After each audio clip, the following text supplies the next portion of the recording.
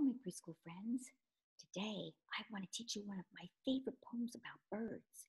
It's about two little birds, one, two, and it's a finger play. So we're going to use our fingers to pretend they're birds. And the birds we're going to talk about first are red birds. And they look just like this. See that little red bird? And it goes like this. Two little red birds sitting on a hill. One named Jack, one named Jill. Fly away, Jack, fly away, Jill. Come back, Jack, come back, Jill. Yay, our two birds are back. Did you like that poem?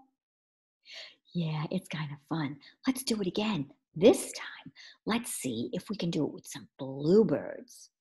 I have a bluebird right here. This is what a bluebird looks like. Isn't that cool? All right, are you ready? Okay, here we go. Get your two birds up. Two little bluebirds sitting on a hill. One named Jack, one named Jill. Fly away, Jack. Fly away, Jill. Come back, Jack. Come back, Jill. Yay, we did it. One more time. Okay. This time, look what I have. Do you know what color my bird is now? You're right, it's a yellow bird. Let's sing about two yellow birds. Okay, let's get our two bird fingers up. Here we go.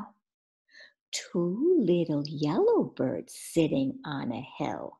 One named Jack, one named Jill. Fly away, Jack. Fly away, Jill. Come back, Jack.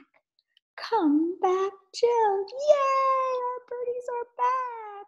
What a fun poem. I hope you had fun singing with me, and I hope you'll do it at home and teach all your brothers and sisters and your mommy and daddy how to do the poem as well. Bye for now.